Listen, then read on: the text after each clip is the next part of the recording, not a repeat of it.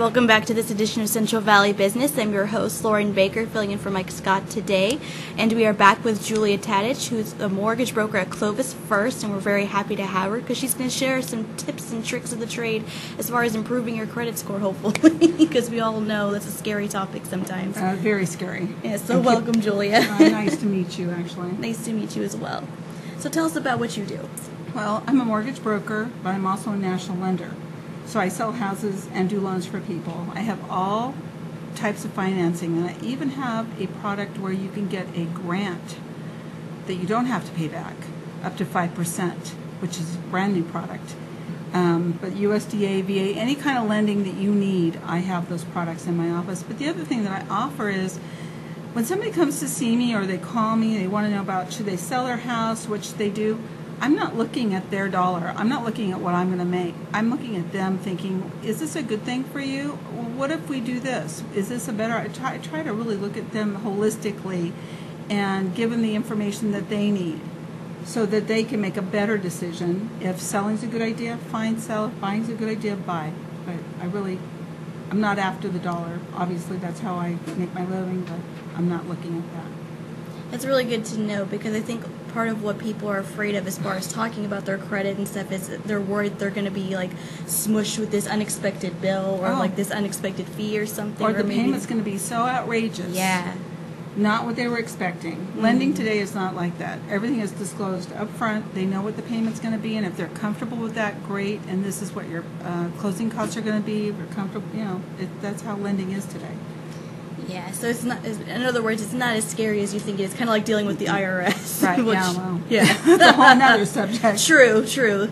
But um, is there a range of qualifications that someone needs to have in order to like work with you on that? I I tell people if they're thinking about buying, come and see me. If you think you have credit problems, come and see me.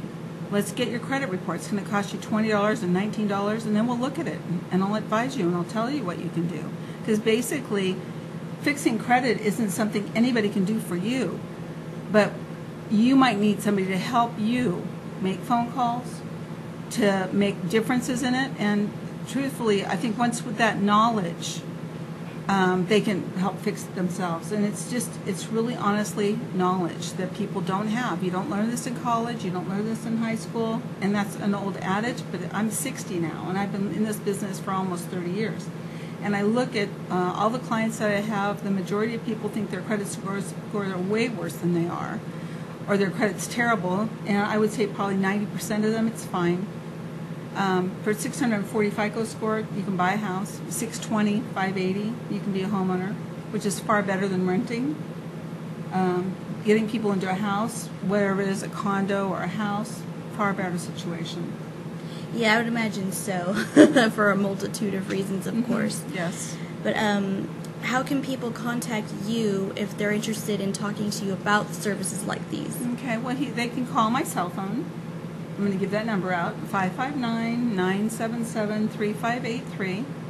I always answer the phone. If uh, it's busy, that means I'm on the phone. Leave a message, I will get back to you. Or you can call me at my office at 559 323 2213. It's awesome. I'm easy to get a hold of, actually. That's good. Yeah. Because especially if someone's panicking, like, oh, I need someone to talk to right Well, now. and And I I hate automated messages. Right, yes, me too. But those are the worst. They help Yes. no one. No, one at all. They just make you madder. Exactly. but that's so great. Um, is, this is Fresno based. Are there multiple locations in Um, Fresno? or is it I'm, I'm located actually behind the Jack in the Box, as my husband says, we're between the abandoned building and the Stop and Rob on Barstow, across from Pole Kingdom. That, that's our location. Some people I like go, it, oh, I know where that is. that's where I am. Well, thank you so much for being here with us today, Julie, and sharing sharing this with us today.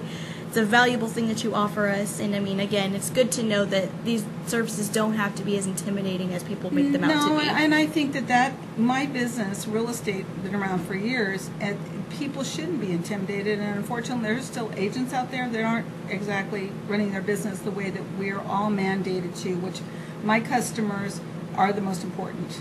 They're they're important. I am only licensed to protect you, the consumer. That's Yeah. why I have a license, and the fact that I have my national mortgage licensing license and my California broker's license, I'm doubly um, charged with taking care of the customers.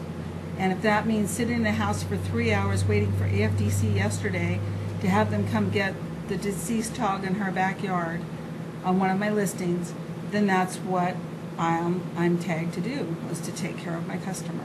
It's really great to hear because again, again, it, it always helps, no matter what the business is, to know that the person that you're doing business with actually cares about Yeah. you as a person, and not just not just as a customer. You know, Right. They're going the extra mile in that way it really does And a lot. sometimes we think that that's just like um, not real, Mhm. that I really don't think that.